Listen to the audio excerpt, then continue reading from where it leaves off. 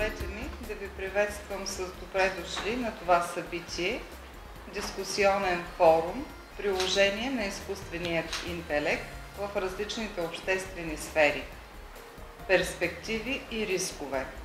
Събитието е част от академичния календар на Економически университет Варна и част от мероприятията, включени в седмицата на правото, която е организирана от катедра правни науки.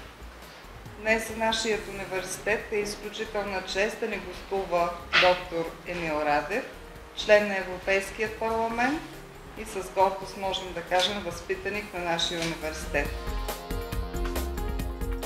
Уважаеми доктор Радев, уважаема професор Костова, уважаема доцент Андреева, скъпи колеги, за мен е удоволствие да ви приветствам с вашата ангажираност по повод събитията посветени на Деня на Конституцията и професионалния празник на юриста и конкретно с участието ви в този форум. До преди 10-15 години интернационализацията и глобализацията бяха теми на гребена на вълната – Експоненциалното развитие на технологиите обаче измести акцента по посока на дигитализацията, която на свой ред ускори процеса на глобализация.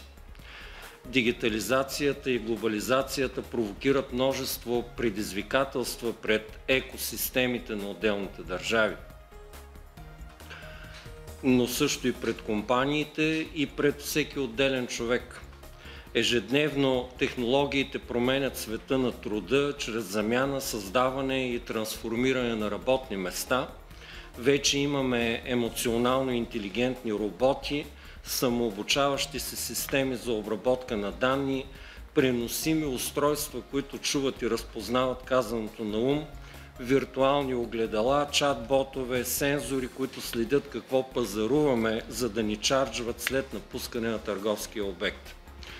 Дигитализацията стимулира глобалния трансфер на ноу-хау и по-бързото възприемане, адаптиране, доразвиване, имплементиране на нови бизнес модели, което стимулира економическото развитие, но важно условие е екосистемите да са подготвени за това или бързо да успеят да се адаптират.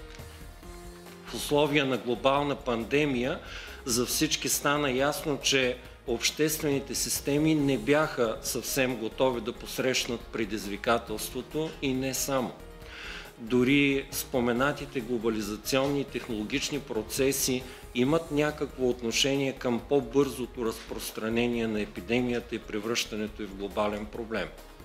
И тук глобализацията се превърна в контрапункт на една нова тенденция, свързана с така наречената островизация на държави, отваряне на зелени коридори, възстановяване на логистични и стойностни вериги. На преден план излиза ролята на държавите, на браншовите организации, на отделните компании, на социалните партньори, предвид необходимостта от разработване и устойчиво прилагане на добре обоснован микс от политики за приобщаващи устойчив растеж, базиран на иновации.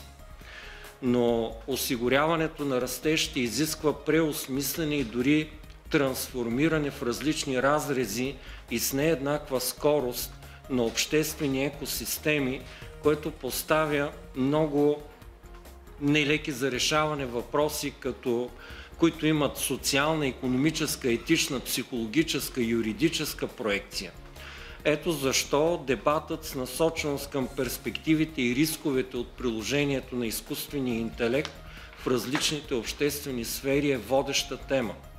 Важно е да се идентифицират тенденциите при управление на иновациите и цифровата трансформация на индустриите. Това поставя въпроси свързани с управление на риска, с работа в глобални мрежи и споделяне на ценности чрез устойчиви иновативни модели – кризисен менеджмент, осигуряване на относителна стабилност на виригите на доставки и други, като всичко това е в контекста на развитието на изкуствения интелект, като средство за иновации в индустриална среда и то при спазване на принципите за етично и социално отговорно поведение. Чест е, че доктор Емил Радев прие поканата на катедра правни науки при Економическия университет Варна, защото нашите колеги и студенти могат да черпят информация директно от извора. С това завършвам своето приветствие и пожелавам успех на днешния дебат и на всички събития по повод Деня на Конституцията и юриста. Благодаря за вниманието. Уважаеми господин ректор, уважаема професор Костова, уважаема доцент Андреева, уважаеми дами и господа, първо искам да благодаря за поканата от страна на Економическия университет и от катедра правни науки за днешния форум. За мен е наистина чест да споделя това, което ние в Европейския парламент правим с научната общност, защото вие сте водещи в иновациите, вие сте хората, които на практика